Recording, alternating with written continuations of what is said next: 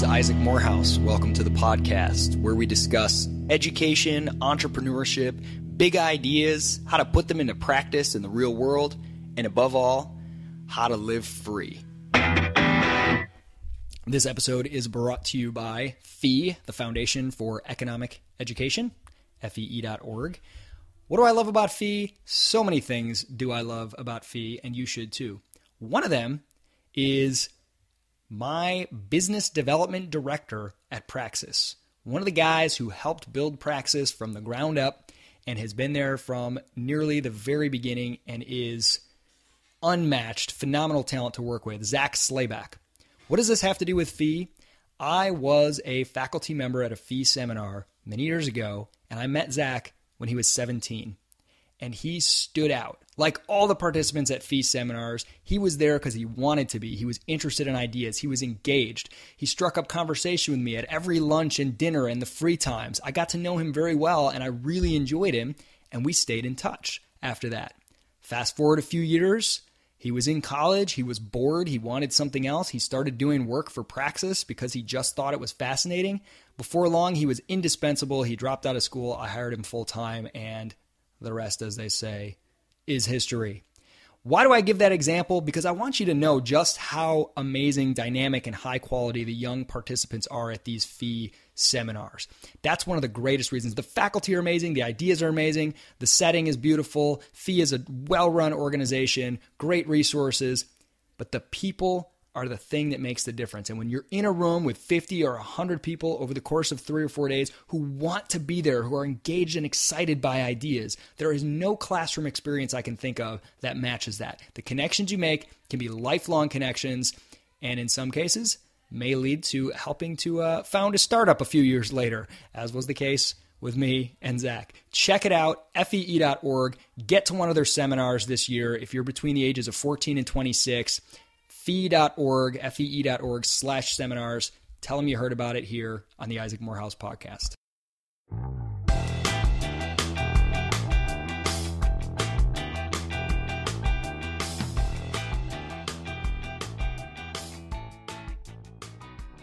All right, welcome back to the podcast. We are kicking off a four part series. I'm really excited about this. I have not done a series before, but it's a four part series, a beginner's guide to startups. Uh, startups are really sexy right now. Entrepreneurs are like superheroes today. They're very trendy. It's popular. You got all kinds of shows like Shark Tank and uh, Silicon Valley on the humorous end. Um, but I think that's largely a good thing. I think it's exciting. But there's a lot of people that don't really know what's going on in this whole world. And confession time, when I started Praxis, uh, this was a little well when I first kind of got started with the idea. It was about three years ago. I didn't know anything. I didn't. I had never gone to business school, or I didn't get a business degree or anything like that. I hadn't really taken any any classes on business and startups and business plans and any of that stuff. I was a total noob. So I didn't even know the first time I was talking with someone about the idea for Praxis. He said, "So you're going to get VC?" And I just said, "Yeah, I haven't decided yet." And then I had to go home and look up VC because I didn't know what the letters VC meant. And they mean venture capital. So don't feel bad if you don't know any of this stuff. That's what this series is all about. So today is part one, and I'm thrilled to have with us Antony Davies. And what I love about Antony, and, and I think is a, a really great guest for this first section, is that he kind of brings together the theory and the practice of entrepreneurship. So Antony is an economist and he studies sort of macro trends in the economy, and he's he's kind of a, a numbers guy, um, has sort of a big picture understanding of entrepreneurship as sort of a, an economic category. But he himself is an entrepreneur. He has launched at least three companies. Uh, he's raised over 23 million in capital for those companies. He's had some pretty big exits, including an IPO, which means initial public offering. It means that the company went public and started selling shares. Um, so he's been there. He's been in and out of academia and the startup world, um, and has a good understanding of um, sort of an overview of what it's all about. So, Antony Davies, welcome to the podcast. Thanks for having me, Isaac. Sorry for making you endure that really long setup. I sometimes I put that in later, but I kind of like when the guest can hear it so they know what they're, you know, how things are setting. I, I know where the expectations are set, right? that's right. That's right. So first, before we get going, um, what did I miss on your bio? I know you had Paragon Software, Parabon Computation, and Replica, and one of those was sort of a gaming company, and the others were. Um, Right. I don't even know what. What, what did I miss? Was, they, they, all three of them were were internet type uh, tech plays. Uh, one was gaming. One was uh, supercomputation. Is supercomputation, and uh, and the other was um, a company that, uh, that that was we were we were about ten years ahead of our time, but we did um, internet discovery. That is, imagine a piece of software that mimics your brain and scours the internet for you, comes back with things that it predicts you would like because it knows who you are, that sort of thing. Yeah. Uh, and, and there, there are a couple of others as well that, that I can't recall off the top of my head because they were failures, right? So you, you push these things so out. So you conveniently forget them, right? oh, right. Yeah, yeah, yeah. uh, so, and, and you have, and this has been over how many years? This has been over the last couple decades, right? You kind of got yeah. into this in the 90s. Well, I started my uh, my first company, Paragon Software, when I was a sophomore in college. Okay. Um, and and, it, it, it, came about for a very mundane reason that my buddy and I we were both into computers at the time. Uh, needed money to buy beer. and the, the only thing we had to trade was was software, was programming.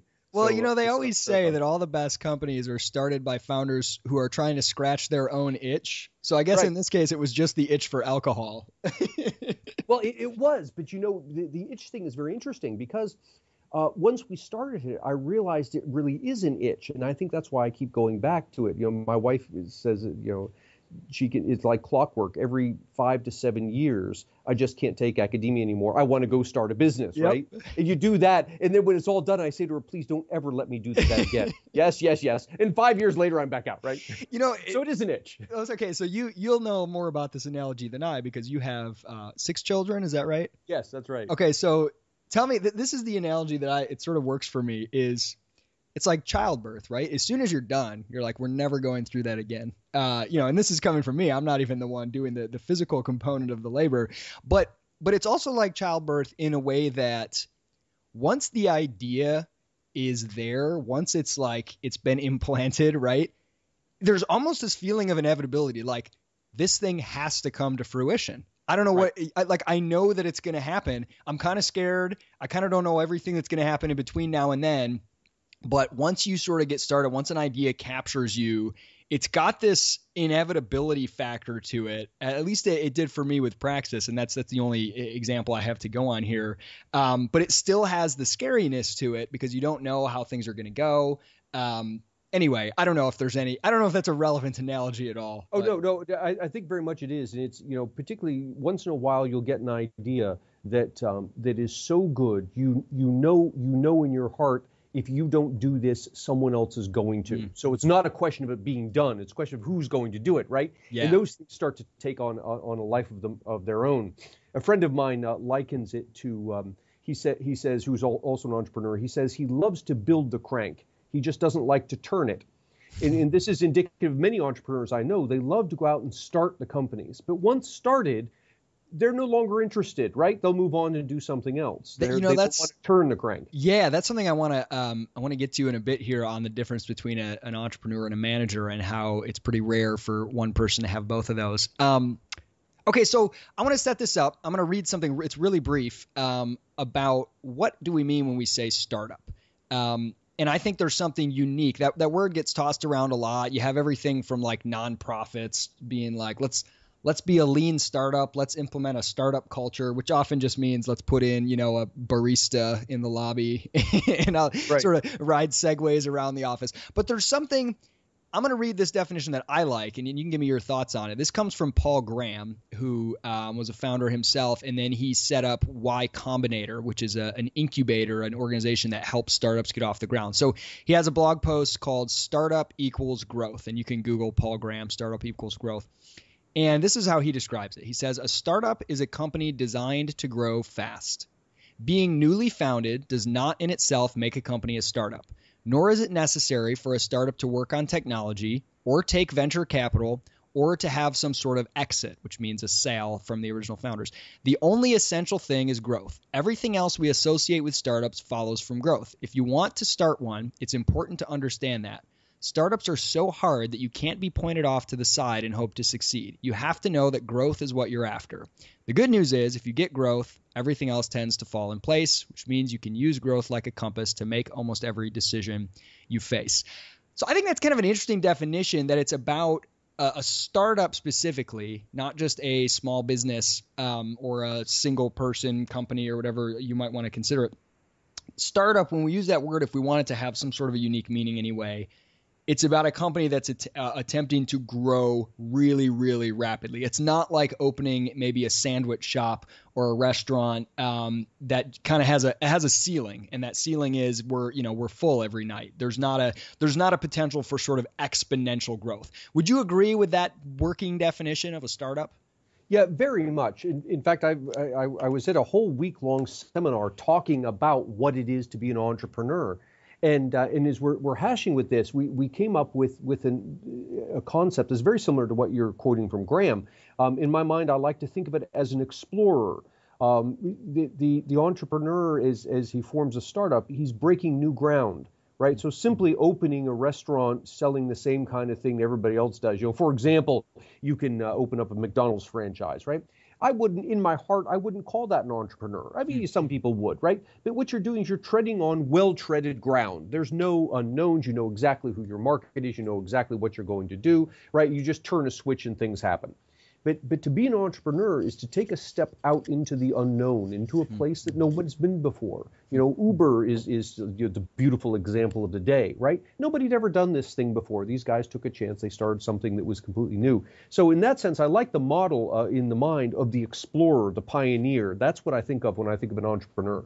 Yeah, and um, you know, to to emphasize, there's absolutely nothing morally or even practically like superior about uh, you know, starting something brand new versus starting another McDonald's or whatever. I mean, I think at the end of the day, if you're creating value, you'll succeed, and you need to find out what's right for you. So it can be easy, I think, for people to feel startups and entrepreneurs are so cool. Well, if I don't know anything about tech and I'm not building a software company that can go from you know zero to a billion dollars then I must not be cool. Um, that's don't right. don't feel bad. I, I agree 100. percent Absolutely. You know, there's nothing there is nothing shameful at all about going out and starting up McDonald's. You're creating jobs. You're providing products for people and so forth.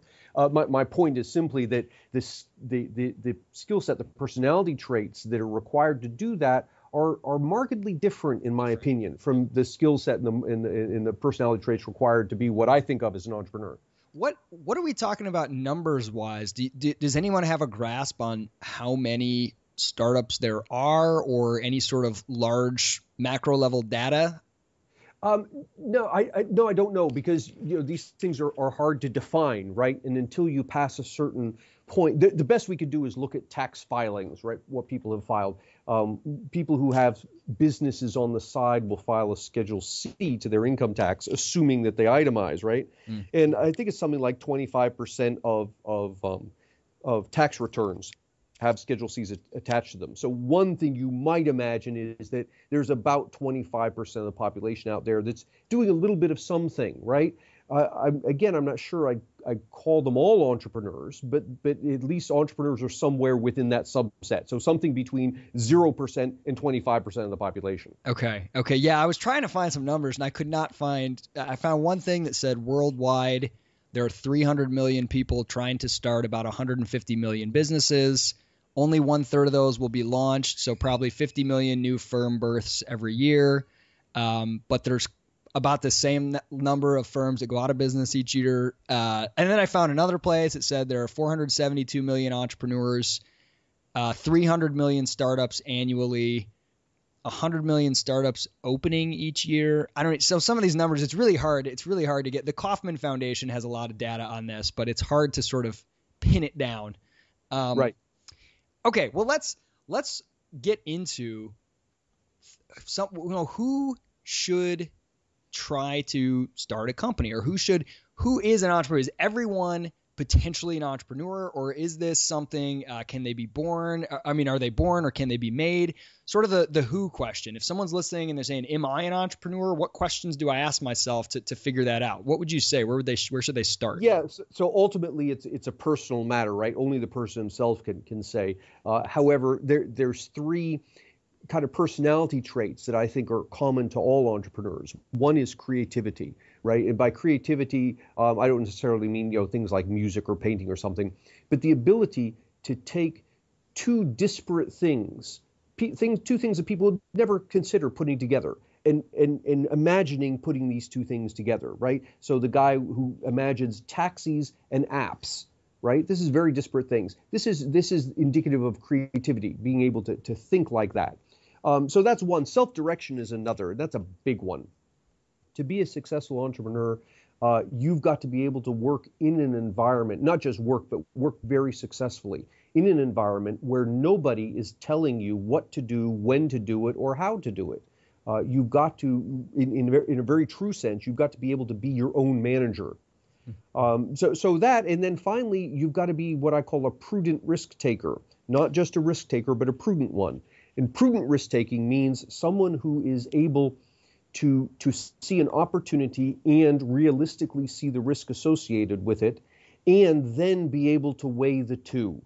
And if if he comes to the conclusion that yeah, the, the potential opportunity here outweighs the risk, this is and the person is then someone who would go and take that risk. That's that's indicative of an entrepreneur. Uh, what is not indicative of an entrepreneur are the two extremes the one extreme where um, the person's refusing to take a risk at all, no matter what the potential payoff, and the other extreme where the person will take every risk that comes along, regardless of how low the payoff is, right? Neither one of those are entrepreneurs. You know the the second point you mentioned. So you said the three traits: creativity, self-direction, and prudent risk-taking. Self-direction is one of those things that I think when you hear it in the abstract, oh, when no one's telling you what to do, you direct yourself. Everyone says, "Wow, that sounds great." No bosses, you know, yay that is one of the most difficult and stressful things when you've got you know you have to make all kinds of progress with your business to to to be profitable, to not lose all your money, to not go out of business but you don't know. You, there are literally an infinite number of activities you could be engaging in, and there's no playbook. There's no person right. who says, do this first, focus on this first. You know, you can read books and best practices, but nobody nobody's ever built your business before. So you you don't know what to do with every hour, every minute of your day. What's the best use of that?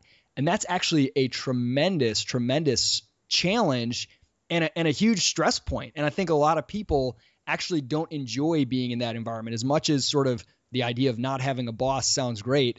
Um, it's more like you have a boss. It's ultimately your ability, you know, your customer, your ability to to make a profit. But they don't speak to you at all. They just have uh, wants and needs, and they'll fire you if you don't figure right. them out. but they don't tell right. you what yeah. they are. They're not going to tell you what they want. They're just not going to come back. Yeah. Yeah, it's very much, you know, it's interesting because people say they, they would like a, a, an environment which are not self directed. I think what people really mean is they would like an environment without a boss, but a paycheck. yes. And the thing about being an entrepreneur is, you know, all right, yes, you don't have a boss, but the flip side of it is every minute you aren't spending doing something to add value is a minute that you aren't earning money that's going to put food on your table.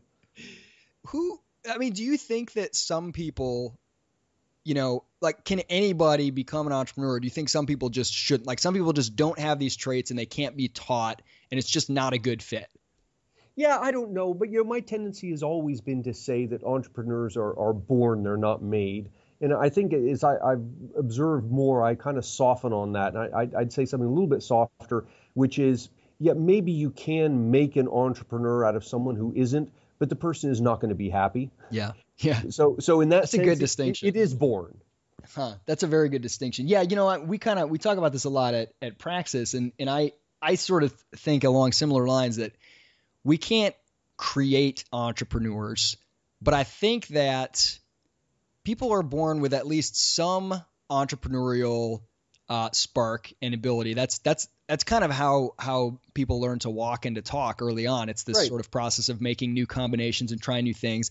And then at some point everyone has a different sort of set of set of preferences in terms of their risk taking, in terms of what's going to bring them happiness. And a lot of people have an entrepreneurial ability, interest, but it's kind of latent because they've never been in a context to discover if that's really them. And so sort of sort of putting people in that environment and letting them figure out, is this really for me? Do I actually want this? Seeing what it's like and making that decision. And, and I think the way you put it that, yeah, you could do it, but um, you're not going to be happy. Not everyone's going to be happy doing it. And, and that's the key is finding when, you know, are you going to be happy doing that?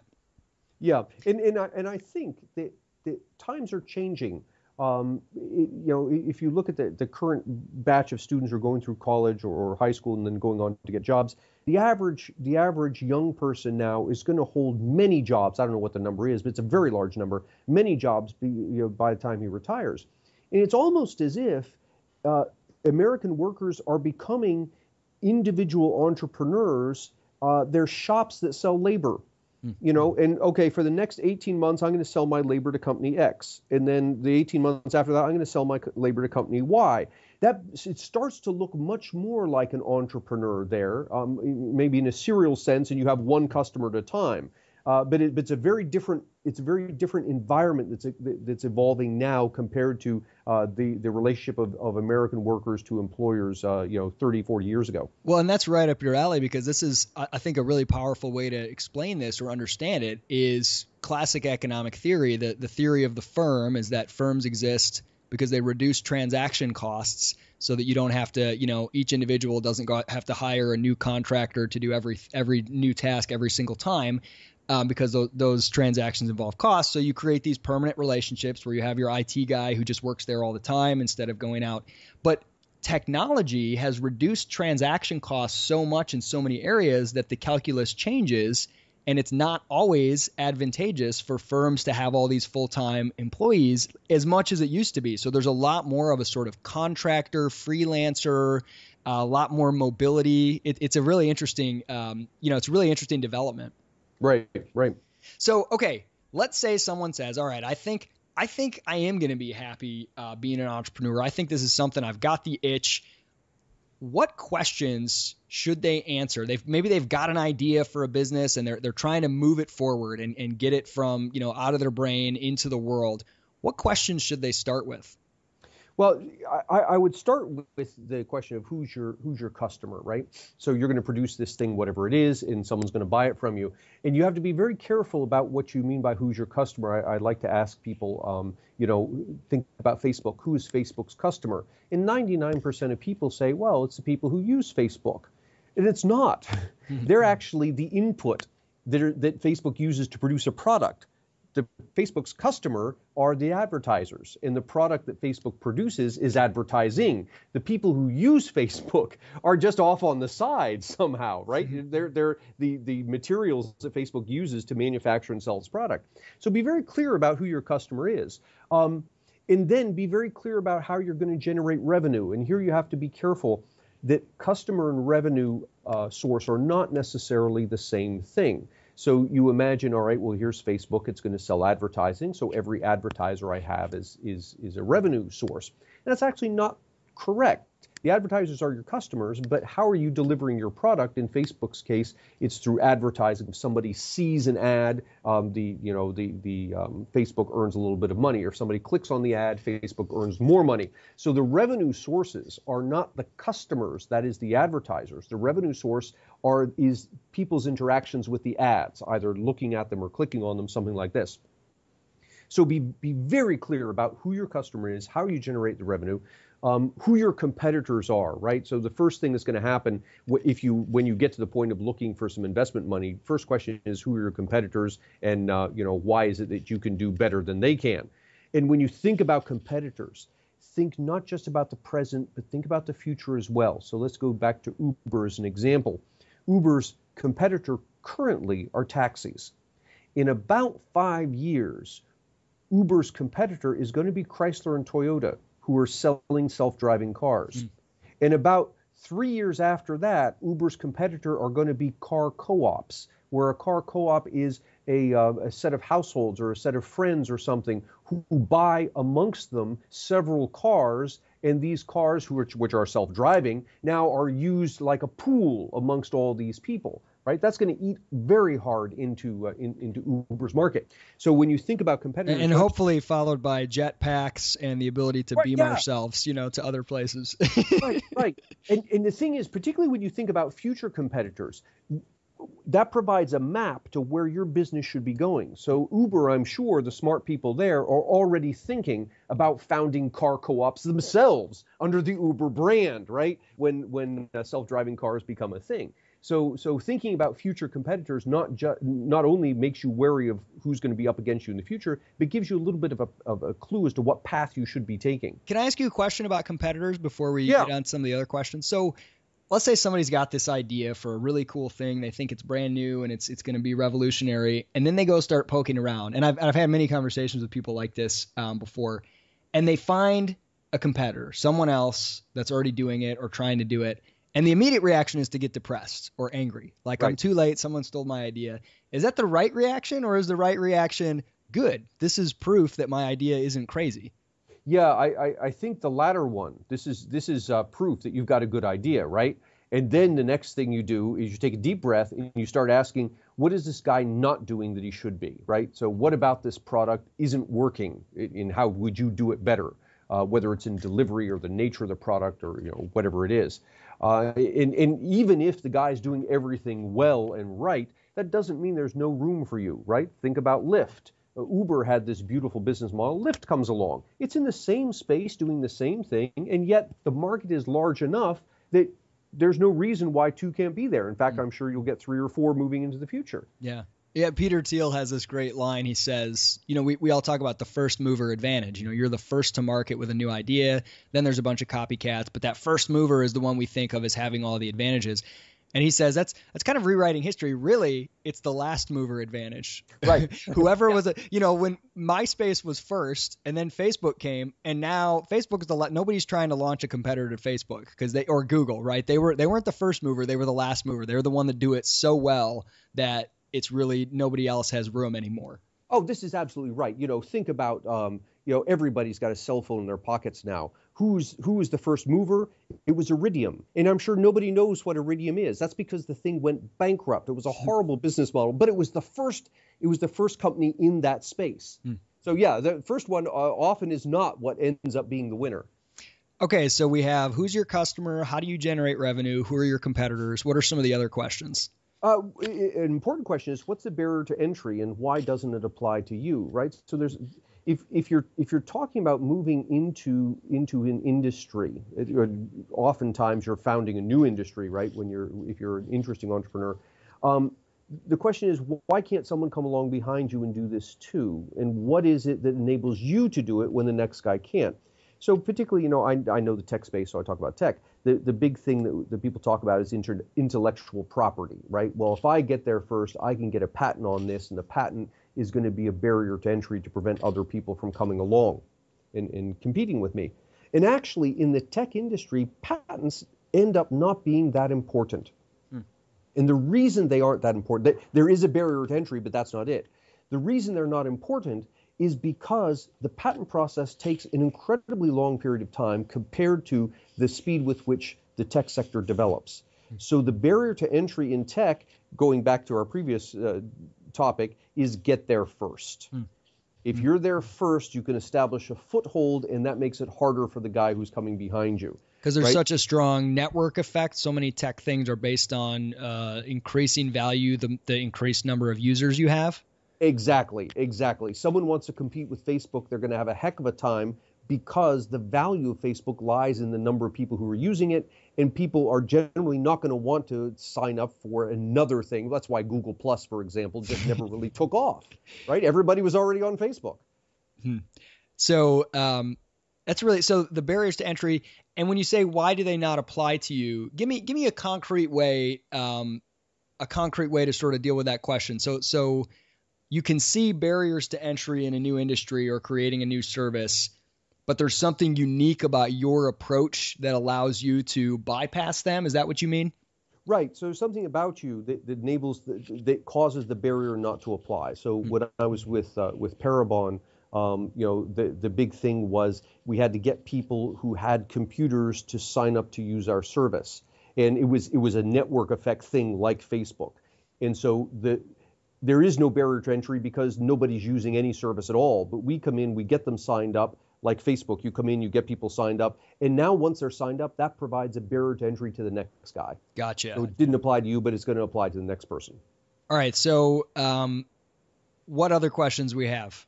So, all right, after you've you know gotten all excited about your your product and, and how you're going to sell it and all of this stuff, um, you need to start thinking uh, clearly about numbers, right? And, th- and, this is where people go off the rails uh, frequently because because they'll they'll get excited about the idea and they'll think about how they're going to sell it and all that, and then they'll immediately go to designing business cards. For God's sake, don't do that. But the two thing, the two things are the three things. This is, this is what everyone when they got a business idea, and I'm guilty of this. I've done this many times over the years with that stupid ideas I've had. You buy the URL for like ten bucks, you know, on right. GoDaddy. You get you create a logo and you get a business card, and then you're like, right. I've, I've got a startup. Look, it's right here. I have the proof. Right. Yeah. Exactly. Eh, the, the reason you don't want to mess with that, you know, don't mess with naming the company, any of that stuff. First off, it's a waste of your time. There are far more important things you need to be doing. Secondly, when it gets to the point that you actually really do need business cards and a name and all of that, you need to turn to someone who has an expertise in that, in graphic design, in picking the right name. Um, when we were at Par- when I was at Parabon, we went under a code name for the first two so years. Parabon isn't like your childhood dog's name or something. no, no, no, no, no. Uh, Parabon was under a code name for the first two years, and um, and uh, when it came time to select a name, we actually hired a, a, a, professional group to come in and give us, you know, they they vetted these things, make sure that it's not something crass in a foreign language, uh, make sure you know it has the, the, emphasis on the right syllables, all this nonsense, right? But this stuff that you don't need to deal with as the entrepreneur, and you don't have an expertise in it anyway. So let's get to what you do need to deal with. What you do need to deal with are the following sequence of questions. What's your market opportunity? What's your revenue opportunity? What's your revenue driver? Mm. so the market opportunity is, uh, you know, think very large. Uh, what's what's the total if you're thinking about Uber? Well, here are you know people spend X billion dollars on transportation a year. This is a this is a, the market opportunity. Okay, what's your revenue opportunity? Your revenue opportunity is a slice of that, right? Because everybody who's looking for transportation is not necessarily looking for the specific thing you're offering. So you think about subsets. There's transportation, there's ground transportation. Within that, there's ground transportation in a hired vehicle as opposed to ground transportation in an owned vehicle. And then within that, there's short short run, you know, short distance transportation. That's the, that's the revenue opportunity. Mm-hmm. That's where you're playing. So as you think about this, it helps you, it does two things. It helps you to put the numbers in perspective. So you're not just throwing out, you know, millions and billions words. It helps you to put the market in perspective. Also, it helps you to communicate when you eventually come time to talk to investors, to communicate exactly where you live within this, this economy. So the investor is comfortable that you've thought this through and that you have a realistic view of what you can do with, uh, with your idea. Hmm there's a there's a great little section. I'm going to refer to this book again, probably numerous times throughout this uh, four part series, Zero to One by by Peter Thiel, and he talks about this finding your market, and and there's kind of this balance. You want to find a market that's small enough that you could legitimately dominate it, like your slice or your niche of that market, but that's big enough that dominating it actually matters. So he gives an example right. of, you know, oh, I'm going to open a British Thai fusion restaurant in Berkeley and I will dominate that niche because there's no other restaurants serving that particular niche. Great, but you're going to dominate a niche of like 10 people. And on the other side, people that claim that their market is like, well, I'm selling something that appeals to all 7 billion of the Earth's inhabitants. So the market is huge. You, you, you can't dominate that market. So finding something that is niche enough, you know, that sort of your subset of a subset as you mentioned, you know, transportation, ground transportation, rented, you know, non-owned ground transportation. Um, there's a subset that you can dominate, and if you dominate it, it's still big enough to have a huge, huge revenue opportunity. Yeah, a- absolutely. absolutely. So the revenue driver, what is what does that mean? Well, the, the question there is what is it that's actually bringing revenue to you, right? So w- think of it as a machine, and there's a lever that, and you push the lever and money comes out. What specifically is that lever? You know, is it is your is is it advertising that's driving your revenue? Mm. Is it a word of mouth that's driving your revenue? Is it um, you know um, uh, if you're on Facebook, you're getting people to click. That's driving your revenue. What is it that actually causes money to come in? You know, think about games on on apps, right? Uh, apps on, on on your phone. The revenue driver there is not getting someone to play your game. Pretty much, it used to be for a while. You know, 99 cents you get to get this game. So anyone who buys the game, that's your revenue driver.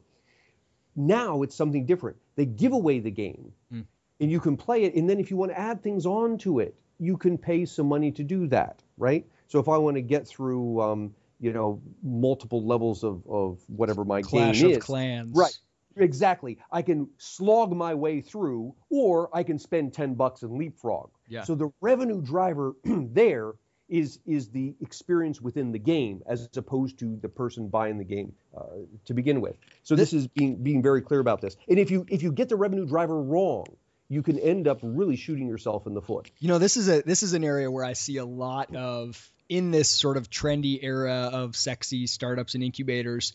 This is an area where I see not not only getting it wrong, but a lot of people just forgetting to identify in the first place. So you can you can right. really easily get caught up in the trappings. Like, okay, I mean, I've even seen places that have gotten significant funding from investors do this. We got a half a million dollars, whatever. So we open an office. It's downtown. It's got a cool, uh, you know, somebody painted a mural on the wall, some street artist. We've got a coffee shop inside, and we're putting all of our energy into sort of managing this company, but none of the things that we're putting energy into are actually driving revenue. The mural on the wall doesn't drive revenue. The the internal process that we optimize, the the you know, software, the database software we bought to manage our customers, which is really sleek and top of the line, that doesn't drive revenue. So it's it's like you can get caught up in all the activities that feel like you're building something, but what you're right. building is is not the part that actually drives revenue, which can be dangerous.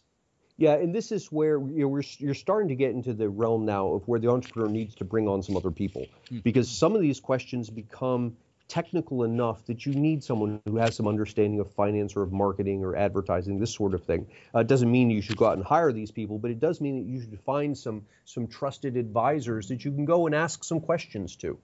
Are there any other questions before we get to sort of some of the ways that you can clarify these questions with some different documents and things? Well, the big question is going to be, you know, remaining is how what's it going to cost to get to where you want to be, and uh, you know, as we build out our documents, that will become more obvious. One of the things that entrepreneurs have to be extremely careful about is getting caught up in the uh, in the hype of their company, right? This is really interesting. We're going to do this cool thing. Everybody says it's going to be wonderful. And so, what is your tendency? Your tendency is to go out and hire a secretary. No, no, no. you you want to spend as little money as possible, right? So when you think about what does it cost to get to market, think in a very in a very realistic sense. You know, if we can literally work out of my garage rather than having to pay rent for some, you know, office somewhere, if we can do that, how long can we do it? And what kind of cost is it going to, what's it going to cost us over the next 12 months? And at the end of the 12 months, where are we going to be? Hmm. So this is the kind of thing you need to be thinking. There's a great story about that relates to this um, Airbnb when they got started. It was these two guys, and they had the the basic idea, and they had the basic website up, and they had identified very clearly, very early, their revenue driver is people booking nights in other people's homes. So, what do you need if someone goes to the website to book? You need an inventory of bedrooms, homes that they can actually book. And so they didn't go out and hire a secretary, a sales team, all this stuff. They literally, the two founders went door to door in New York City, like door to door, apartment to apartment, for it was a couple months at least, knocking on doors individually with hand printed flyers saying, Hey, would you be willing to list a spare room on our website? Huh. Blah, blah, blah, blah. And they built up the inventory first because all the other stuff, their website, their user experience, all the cool stuff about the culture, that can all come when you have the sales to justify it. But they went out and they got that those sales first. They got the revenue driver first before they put in a bunch of money. And I thought it was a, I think it's a really great example. Yeah, yeah. Okay, so these are all the questions. Really, I'm going to quickly go through them again, and I'm and I'm going to post, by the way, uh, listeners, uh, PDF of this presentation will be up with the show notes. It's really, really, um, really handy. So, who's your customer? How do you generate revenue? Who are your competitors? What are the barriers to entry? Why do they not apply to you? What is the market opportunity? What is the revenue opportunity? What's the revenue driver? And what does it cost to get to market? Okay, so in thinking through these questions and sort of hammering them down with more clarity requires documents. And right. how important are documents? I've heard people say things like a business plan is just stupid. You just need to like build your thing and start selling it. That's all that matters. You can do that stuff later. I've heard other people say you've got to get your business plan right. You've got to answer all these questions in a in a really nice logical spreadsheet. What what is your take on this? Yeah, I think I think it depends in part on what it is that you're doing and where you want to go. You know, if you're starting a little something, I've got a beehive, I'm going to you know, raise some bees and sell some honey you don't need a business plan for that. I mean, unless you're looking to grow to, to industrial strength within, you know, 12, 24 months. You know, so I, I just do my thing. I raise my bees, I sell some money, and as the money comes in, I do more and more. So there's not, there isn't any plan there. if you're talking about something that's going to require employees or maybe equipment, this sort of thing, you need a plan because you can you can sink your entire effort by doing things in the wrong order, even if they're the right things to be done. Hmm. So this is where the, the documents become very helpful. And, and I would also add that it's very common to think about like a, whether it's a pitch deck or a business model or revenue projections. Yes, these are obviously very valuable and necessary if you're going to go raise money from an investor. But even if you're not, if you're bootstrapping it, the value of what it does for your own thinking and your own clarity about your business can be really, really immense. Yeah, a- absolutely. It's a good opportunity for you to identify holes in your thinking when you have to lay everything out. Uh, so, so what you want to do is you you want to do several things. You want to uh, build, uh, we say, build your documents. This is a, a, your business plan, and you build the business plan, and um, you then build along with it what we call a deck, which is a set of 10 to 15 slides. If you're going to be going after uh, investor money, you need the deck. If you're not going after investor money, you don't need to fool with the deck. But I think you need the business plan either way. You need to do this before you put together your your initial team. So so start off by describing your product in a dozen words, right? In just a dozen. If you if it's going to take you 10 minutes to to tell me what it is you're doing, that tells me you don't have a firm grasp of what your product is. So describe your product and use analogies where possible. So I, I go back to, to Parabon, you know, the, the company we're doing. We did internet-based uh, supercomputing. And so in, in a single word, I can tell you, Parabon is the Zipcars of supercomputing. Hmm. Now, people who know Zipcars, right? You just you walk up, it's sitting on the street, you drive it wherever you want, you leave it there, and you walk away, right? This is Zipcar. Use it when you need it, and walk away when you don't. That analogy helps to summarize what par- what Parabon does. Hmm. So the analogy and then and this is incredibly important. Identify the pain point. That is, your people are going to pay you money for solving problems that they need solved. That is, they are experiencing some pain. You're going to take the pain away from them. What is it that you're doing? In the case of, uh, of Parabon, um, the problem is, uh, in, until Parabon came along, the way you got supercomputing power was to buy a supercomputer. Well, that's like wanting a beer, and to have the beer, you've got to purchase a bar. right? That's that's ridiculous. It's an incredible pain point. great All analogy. Beer, yeah. Right? Yeah. So so similarly, the pain point is you've got people out there who who who need supercomputing uh, power, but they they only need it for 10 minutes. They don't want to spend you know 50 million dollars on a machine, and that's the pain point that that, that Parabon uh, hit. So every business is going to address some pain point, get it very well, and that's going to help guide not just how you flesh out your product, but also how you communicate your product hmm. to potential customers. All right, we are going to walk through um, what is included in the business business plan here, uh, as well as a brief overview of what kind of investors there are. We're going to have in, in some um, future episodes on this on this beginner's guide. We're going to go into more in depth on the investing side. But before we do that, we're going to take a quick break and hear from our sponsors.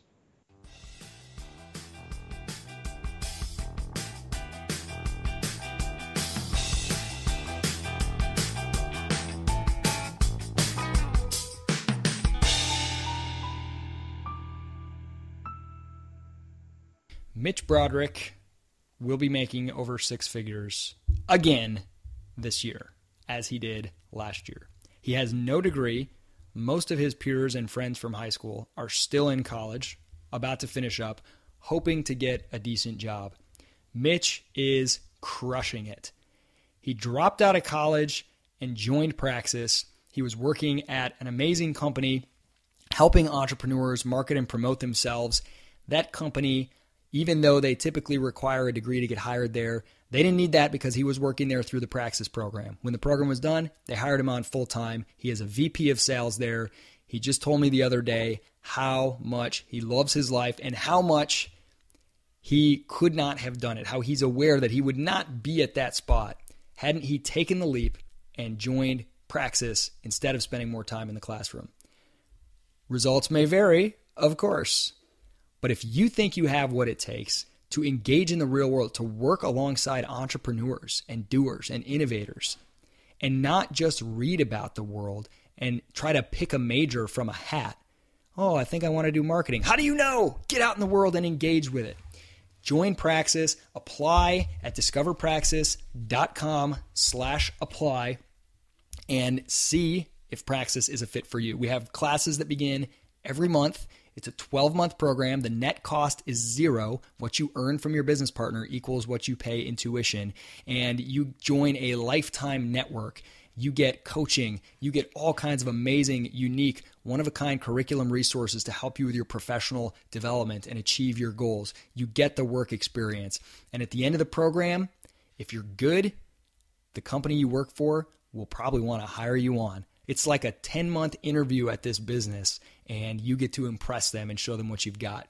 In addition, we've got a whole network of other companies, and we work hard with you to help you get to your next spot where you want to be, whether it's launching your own business or continuing to work for another one until you're ready.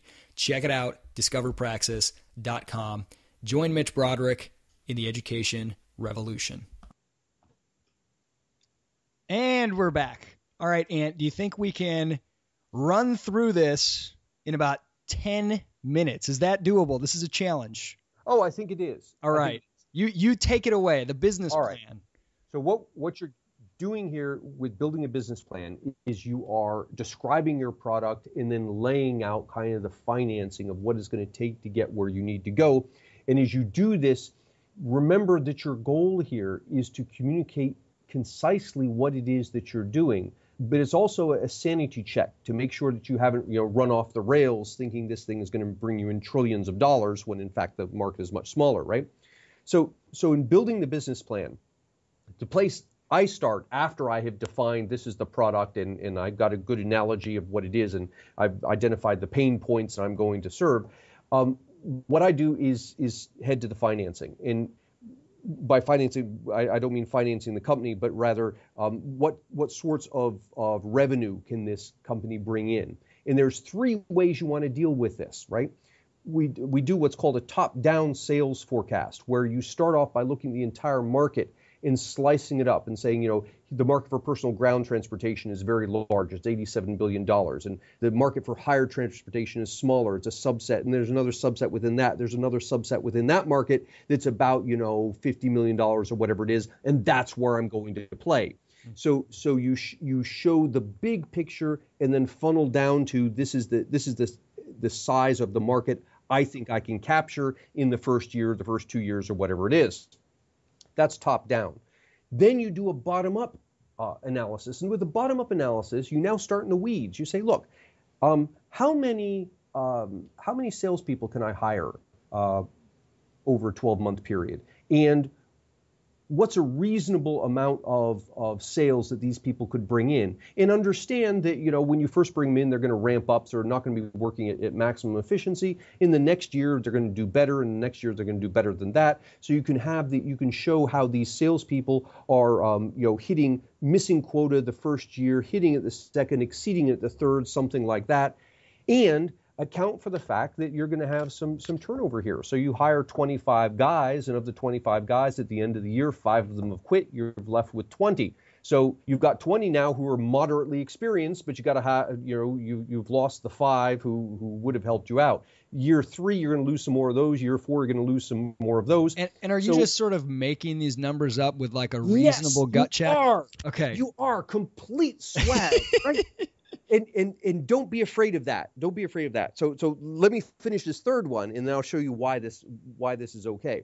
The third one is, a, is the sale pipeline sales forecast. So there you're you're tracing out rather than thinking about um, how many employee how many salespeople to have to buy uh, hire and how much can they sell over what period of time. You're now thinking about the sales process itself When I approach a customer on day one, how many days does it take before we get to the next stage, whatever the next stage in a relationship is? For example, the customer requests a follow up. How long does that take? Well, maybe let's say it takes three months. Okay, it takes three months to get from initial contact to follow up. And of the people you initially contacted, how many are going to follow up?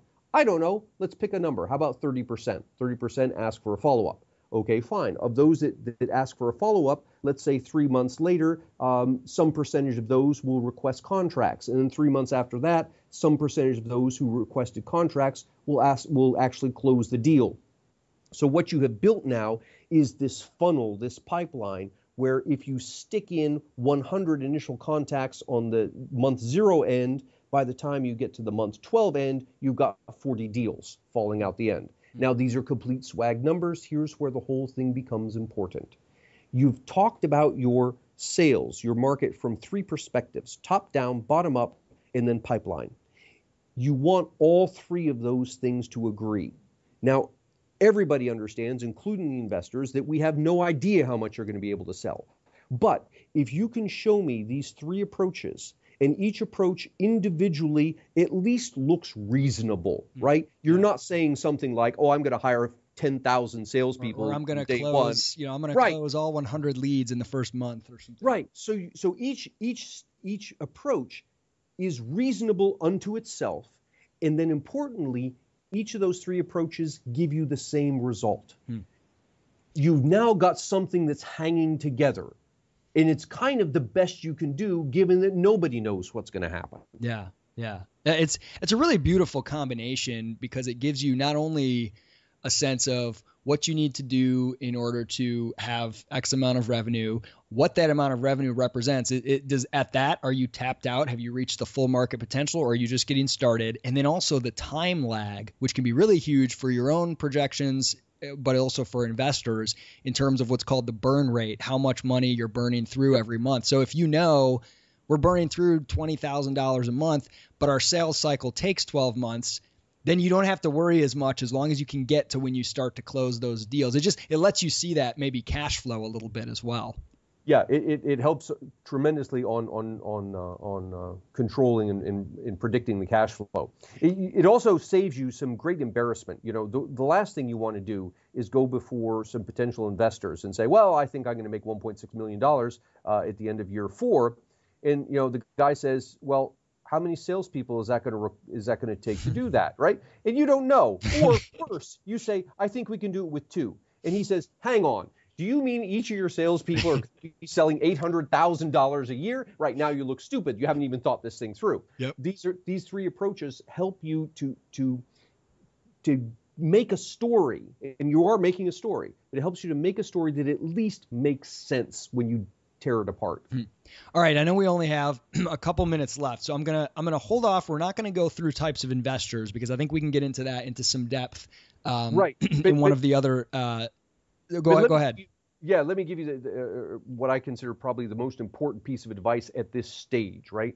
At this stage is don't confuse entrepreneurial skill for managerial skill. Mm-hmm. That is, just because you're good at, at building the crank doesn't mean you're good at turning it. At some point, the entrepreneur, some entrepreneurs are good at managing, but many of them aren't. At some point, you've got to be prepared to step away from the company mm-hmm. if you want to succeed and let someone who has better skills run it. Well, that was going to be my last question for you, Ant. Is is a team? How do you find those managerial people? How do you decide? How do you build that initial team? It's this is where this goes to my second point actually, which is don't be afraid of of taking on investors. Um, people, entrepreneurs get very um, defensive about bringing on investors because they say, well, I have to give up so much of the company. Entrepreneurs have this, this idea that they should hold on to 100% of their company. This is actually a very bad idea. You want to bring on investors and you want and they're going to want a slice of the company and you need to feel comfortable doing that. Don't have in your mind that the investor is going to just take my company, run away and leave me in the dark what the investor is doing is investing in you as an entrepreneur, right? He'd be cutting off his own nose if, if he does that. He wants a partnership. The investor brings along more than simply money. The investor brings along contacts. So when you're trying to build your team, You can turn to your investor who has a financial stake in your company and who is connected in ways that you aren't and maybe sees things that you don't see.